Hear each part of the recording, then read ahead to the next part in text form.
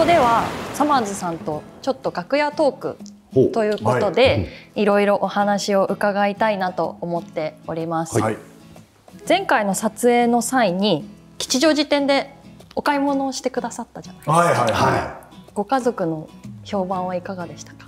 い結構かみさんあのベイフローの服をお俺がこれを担当する前に持ってたりしてた本当ですか？うんであのぜすごい着るすごい着るって言われて。嬉しい。うん、なんか本当なんか普段使いにちょうどいいんだって、はあ、うん、なんで喜んでました。あ、嬉しいです。うございます。弟っていうか息子ね。い。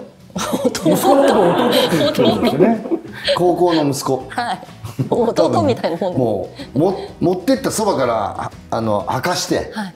もうジャストサイズだから、はい。もうお前にやるとジーパンは、はい。あ、じゃあもう今履かれてる履き潰していいからっつってよかったです。よかったですよかった。おたけさんは？うちも僕もあの子供のだけ買わせていただいたんですよ。なかなかないでしょ？キッズ、はいああいうところに、うん。興奮してね。いろいろあのこれの S ありますとかすげえいっぱい言っちゃったなっていう反省があります。いやいやいやいや。この色の L ありますとか。こいつどうしたんだこんな興奮してってちょっと興奮しすぎちゃってねでサイズあったの？ありましたもうあのーもうすぐ来てね毎日来てますよ毎日履いてます。家で出す時はちょっとドキドキしてるけどね。な何買ってきたの？ちょっと緊張感。がまあ買ってきたっていうかなんかいただいたっていうか。言ったら結局「おいいじゃない」って。おーよかった。よかったと。中村さんも。大丈夫ですけどね名前は、ええ。ちょっとその辺のひとみさんですね。いや出さなくて大丈夫ですけど、やっぱ何かい外から持ち込む時の緊張感常に何何に対してもあるので。わかる前回の撮影から、まあ、商品作りですとか、あとテーマソング作りをさせていただいたんですがはい。商品を作られる時にお二人ともこう一緒に組んだお相手がミュージシャンうん。だったと思うんですけど、え相性的にいかがでしたか？そして三村さんとリサさん、リサさんお願いします。一面これにしてみる？あでもありかも。ジャストだけにして俺ぴったり合ってんだマスク。いいかも。ジャストいいかも。結構あのリサさんに「ここ何色がいい?」って聞いたら、これがいいとかマスクはこれがいいとかってあはっきりした女性ですから、多分決めるとこ決めるから、もうパッと終わっちゃう。えうん、確かに。まあかなり譲ったところもあります。けどいや譲るっていうか、ああのい色味とか女性の方がやっぱセンスはいいじゃない、だから俺マスクとか本当分かんなかったんだけど出来上がった色良かったすすごい良かったですよね、うんうん。可愛かったです。大竹さんはいかがでしたか？ペスさんと組まれて。ペスさんがもう「いや何でもいいですよ」って言って。譲ってくれてるん俺も何でもいいですよってなって 譲り合いの時間でね。じゃあ最最初になかなかできなかったでも結局2人ともえー普段着れる攻めないやつっていうのは一致してたんで、はい、大竹さんとはい。ペスさん、おおありがとうござい光栄です。キャップの黒もらえないですか。いいですか？いいですか？あいいいいの別に。それなこれは被れますね。被れます。はい。はい。あこれいいんじゃないですか？でもこれでね。はい。色。色これが一番いやでもいいでしょご本人もね。つけられるっていう。黒だったらいいかもしれない。ね。こうあじゃあそんな派手にしないで、って言ってたら全部 Just Sound Good になっちゃったっていう。でもそのサイズ良かったよ。ね、結局良かったですよ、はい。この後ろのこれとね。そうですね、さりげないだから単品で全部いいと思うんです、いっぺんに来ちゃうと Just Sound Good が 推しが強くなっちゃうんですよ。だから3組のコラボでいいと思そううんでですすね。ね。上全部、はい、組み合わせて買っていただくのも楽しいかなと。面い白いやいいよかったな思います。完成品をご覧になってどうでしたか？でも色もちょうどピンクといやいいですよ。ブルー。これに赤を持ってきたのが良かった、正解だった正解でした。ね、はい。なんかね。それ良かったです。三村さんのこの白い、あのーパッチ？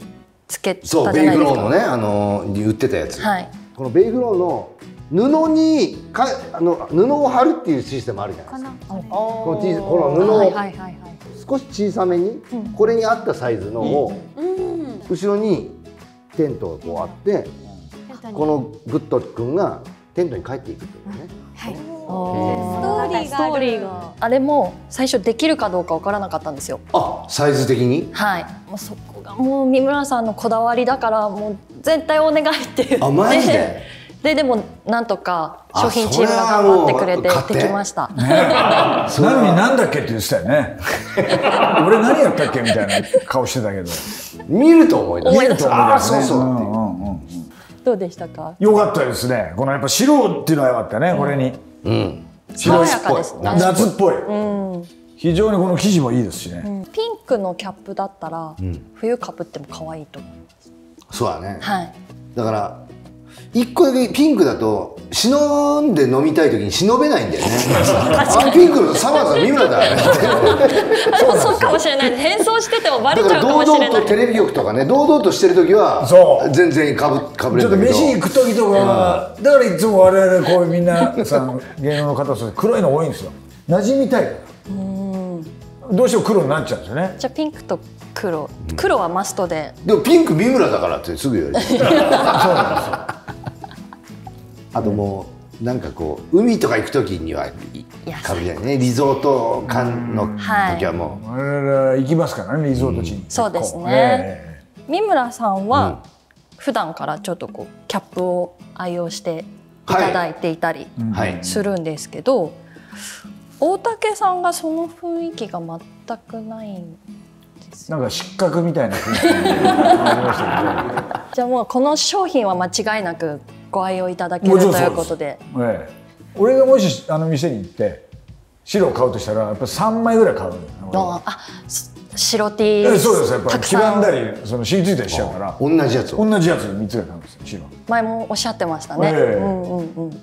えっ、と最後に商品として販売がこのうん。作っていただいたものが販売開始もされてるんですけど、お二人の本音をお聞きしたいと思うんですが、あのリナちゃんのはい。黒の T シャツにはい。黄色いあれよかったな。あれよかったなと思ったらあれ私考えてないですって言って。